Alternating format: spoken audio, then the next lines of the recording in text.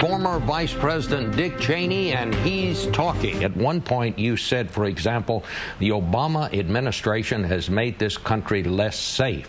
That's a very serious charge. In effect, what we've seen happen uh, with respect to the Obama administration as they came to power is they have moved to take down a lot of those policies we put in place that kept the nation safe for nearly eight years from a follow-on terrorist attack like 9-11. To the extent that those policies were responsible for saving lives, that the administration is now trying to cancel those policies or end them, terminate them, then I think uh, it's fair to argue, and I do argue, that that means in the future, we're not going to have the same safeguards we've had for the last well, eight but years. What do you say to those, uh, Mr. Vice President, who say that when we employ these kind of tactics, which are, after all, the tactics that the other side uses, that when we adopt their methods, that we're weakening security, not enhancing security? Then you'd have to say that. Um, um, in effect, we're prepared to sacrifice American lives rather than run an intelligent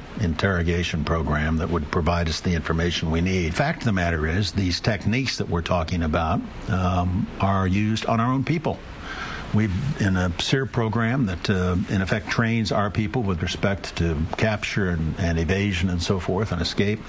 Um, a lot of them go through these same same exact procedures. Is what you're saying here is that we should do anything if we could get information. No, remember what happened here, Bob. We went to the Justice Department, and the controversy has arisen over the opinions written by the Justice Department. The reason we went to the Justice Department wasn't because we felt we were going to take some kind of free hand assault on these people or that we were in, in the torture business. We weren't. If we had been about torture, we wouldn't have wasted our time going to the Justice Department. Do you have any regrets about any of it?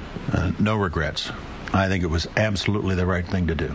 I am convinced, absolutely convinced, that we save thousands, perhaps hundreds of thousands of lives. When uh, things are quieter 20 or 30 years from now, you'll be able to look back on this and say this is one of the great success stories of American intelligence. The charge that somehow there was something wrong done here or that this was torture in violation of U.S. Uh, statutes is just absolutely false. You, Guantanamo, can we ask other countries to take these people back? We have asked other countries to take them back, and they've refused. You're just going to find it very difficult to send them any place.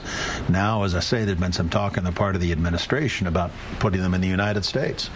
I think that's going to be a tough sell. I don't know a single congressional district in this country that's going to want to say, gee, great, they're sending us 20 Al Qaeda terrorists. It's a graphic demonstration of why Guantanamo is important.